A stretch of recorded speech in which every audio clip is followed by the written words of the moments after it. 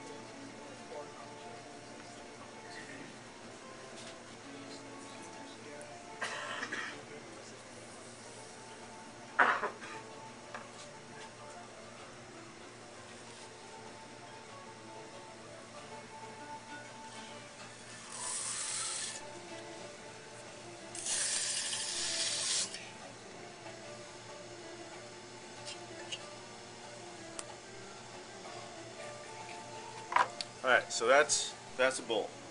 So that's what you're gonna do. Now, oh, could you grab the, the wire off the table? Spatula. So now, what you guys are gonna do is watch this again, and I'll explain how it was done.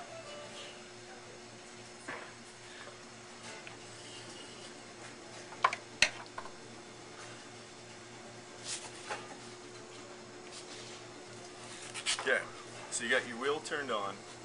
Usually want to have this stuff cleaned off.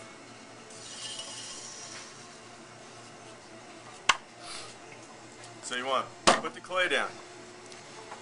Make sure it's on there. Because what will happen, and it will happen, al- always does, someone's clay comes off, and now you have it doing laps around your, your splash pan. Just turn the wheel off. It's okay. It won't hurt anything. So now, you're going to turn it on full speed.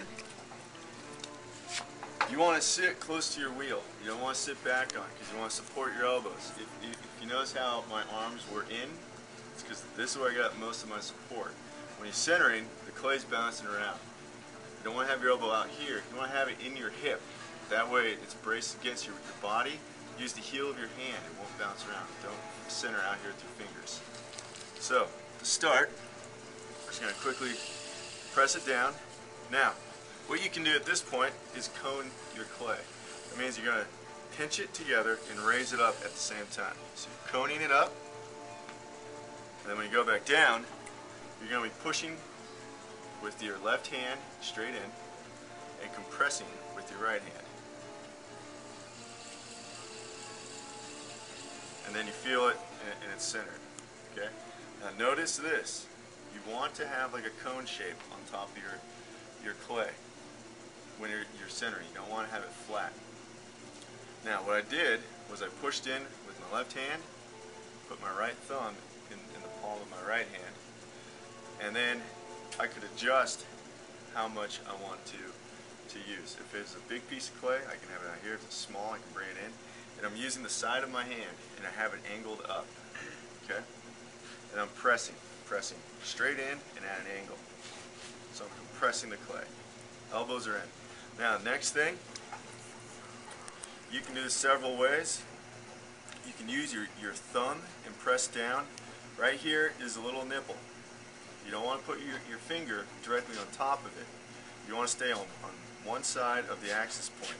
So put your, your, your fingertip right up on the edge of the nipple. So you can either use, use your thumb or your fingers. Alright, if you go with your thumb, you just press down.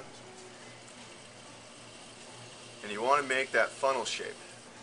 See how there's a funnel shape in there? When you get the bigger pieces and you can't get your thumb all the way down there, you just switch over to your, your fingers and press down like this. Now, when you're starting out, you want to check the bottom because a lot of people are either going to make them too thick or really thin and not have a bottom. You want to have enough clay down there so that you can trim your wheel or trim your pot afterwards. Take your pin tool, stick it into the center, pull it out. There's about this much clay. So that's okay. I got enough clay where I can trim my foot. It's not going to be too thin or too thick. So, I'm going to turn it back on. Just kind of compress that down. Now what I'm going to do here is now I'm going to hook my middle finger and drag it across the floor. So now I've opened my well and now I'm going to open the floor up. So as the wheel's turning, just drag it straight across towards me. This is now opening it. And depending on how big you want to make your pot is how wide you want to do your foot, your floor. So now, I've got that opened. So now what I'm going to do is bring the walls up. Now with bringing the walls up, you're bringing the clay up, but you're also trying to make them even. Because when it comes to the pots, or any pot, it's not a matter of uh, whether or not it's, it's heavy or light, it's whether or not the walls are even. So you don't want to have a whole lot of clay at the bottom and really thin at the top. You want to have them even all the way through.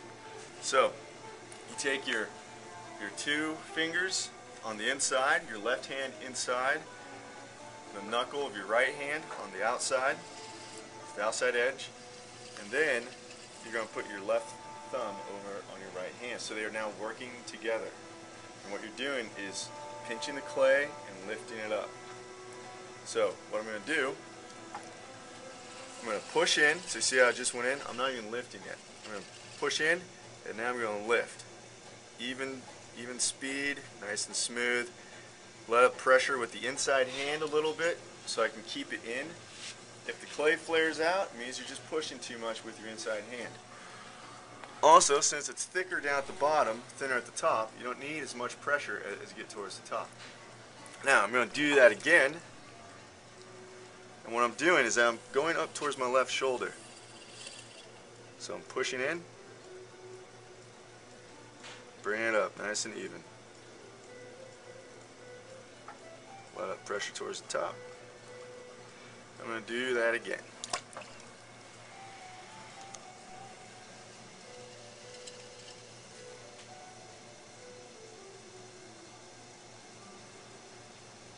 Notice how, how the rings are nice and tight.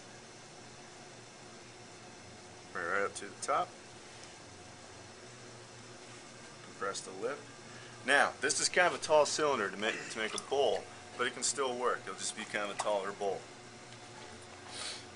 So now what I'm going to do, with my, my inside hand, my left hand goes inside, take my right hand, and I can support my, my left arm.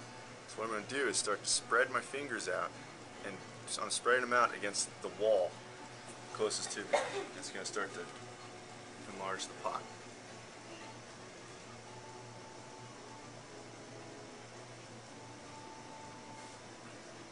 So you can make them any way you want. Like th this one just has more straight walls to it. If you want to have more of a curve, then you just push more at the bottom.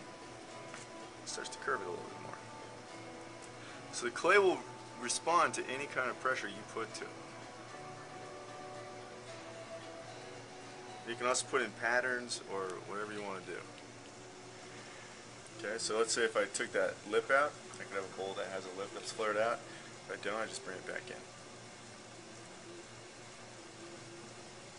Okay, now let's say the top gets a little a little ding in it, okay? What, what do you do? You grab the pin tool, hold it nice and firm with this hand, inside finger dragging, thumb over on the pin tool, and all you do is score a line and lift it up. So that's trimming the lip, okay? Take the sponge, or even just your, your, your finger, you just kind of compress it a little bit. And notice how I, I don't have like a super thin lip. So we'll just shape this a little bit more and then, so I'm just going to press this out a little bit more.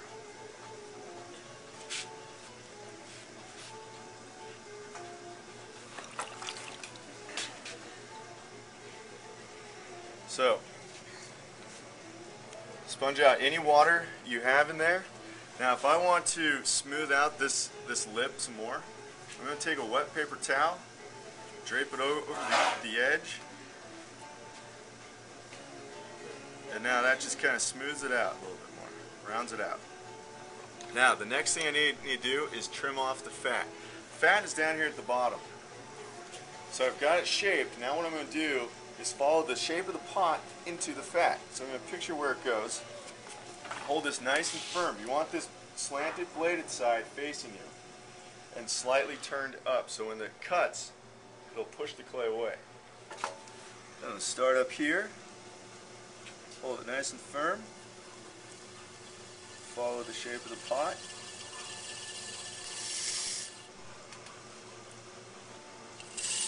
Undercut it.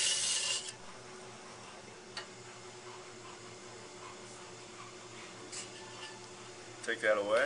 This can go back in the cooler.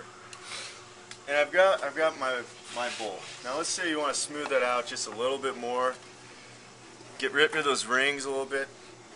You can just take a rib, a rubber rib, and then you can just kind of form it around. And it'll take those, those little lines out. You can also smooth them out later. Uh, the wooden ribs like this are good if you want to make your inside curve nice and firm. You can use this on the inside.